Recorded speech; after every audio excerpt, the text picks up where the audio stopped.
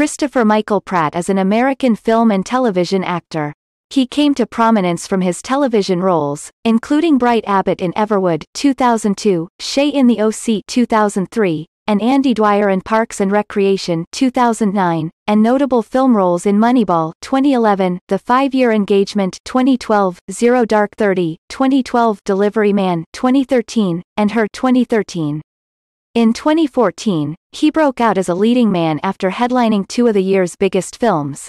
He voiced Emmet Brickowski in the Lego Movie 2014, and starred as Peter Quill Star-Lord in Guardians of the Galaxy 2014.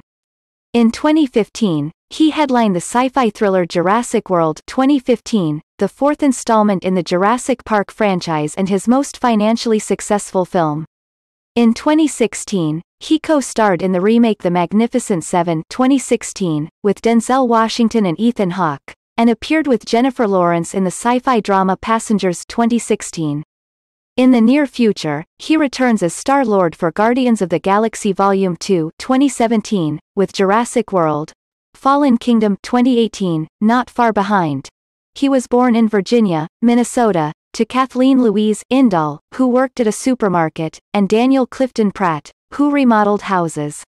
His mother is of Norwegian descent and his father had English, German, Swiss, and French-Canadian ancestry.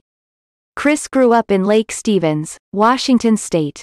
He is married to fellow Washington State native, Anna Faris, whom he met on the film set of Take Me Home Tonight 2011, and with whom he has one child, Jack Pratt. Chris's hobbies include fishing, hunting and working on cars.